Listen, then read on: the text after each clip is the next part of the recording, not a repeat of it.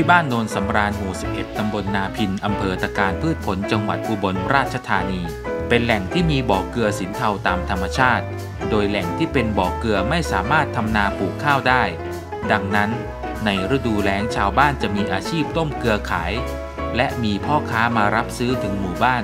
ในราคากิโลกรรัมละเกือบ 20 บาท การทำเกลือมีเวลาทำเกลืออยู่ราว 4 เดือน เมื่อถึงฤดูฝนก็ต้องหยุด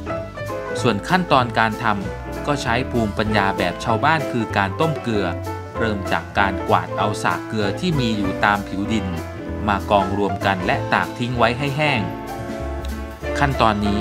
ชาวบ้านเรียกสากเกลือที่ได้คือขี้ทา จากนั้นก็หาบเอาดินเกลือมาเทใส่ลงในรางไม้ที่โรยขี้แกบไว้ให้เต็ม พร้อมเดินเหยียบย่ำให้ดินแน่น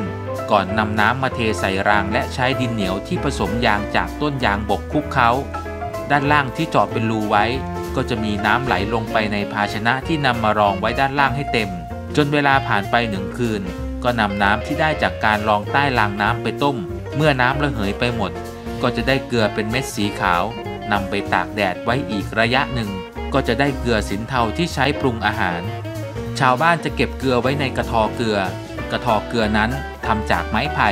เป็นภาชนะลักษณะทรงกระบอก เส้นผ่าศูนย์กลางประมาณหนึ่งคืบ ยาวหนึ่งศอกเศษ แล้วนำใบตองตึงหรือใบตองชาติ รองก้นและรองข้างกระทอนำเกลือที่ได้ใส่อัดให้แน่น ปิดปากกระทอให้เรียบร้อย เก็บไว้กินหรือขายเป็นสินค้าจ้าเอาแกบร่องพื้นแล้วก็จังเอาเอาดินนี่มาใส่แล้วก็เหยียบเข้าไปมักให้มันแน่นๆย่ามคำมากก็เอาน้ำใส่มักไป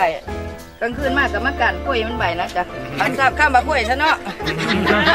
เป็นเสามาหากับมากันเอาน้ำมันออกไปต้มใส่ใส่เป็นเตานะจ๊ะจังสิได้เป็นเกลือคือตอนนั้นเป็นตอนสุดท้ายจ้ะเกลือสินเทาของชาวบ้านโนนสำราญนี้ จะมีความพิเศษกว่าเกลือที่ได้มาจากแหล่งอื่นคือ มีความเค็มไม่มาก เหมาะแก่การนำไปหมักปลาร้า เพราะจะได้รสชาติปลาร้าที่อร่อย รวมทั้งนิยมไปหมักผักดอง ทุกปีเมื่อถึงฤดูทำเกลือ จึงมีพ่อค้ามาคอยรับซื้อถึงหมู่บ้านเพื่อนำไปขายต่อ ทั้งหมดจึงเป็นภูมิปัญญาของชาวบ้านโนนสำราญที่สืบทอดกันมาเกือบร้อยปี เหมาะกับการเป็นสินค้าซอฟต์พาวเวอร์ของอำเภอตะการพืชผล แต่ก็น่าเสียดายที่อาชีพนี้ เริ่มมีคนทำน้อยลง และแหล่งเกลือส่วนหนึ่ง ถูกนำไปสร้างเป็นที่อยู่อาศัยตามการขยายตัวของชุมชน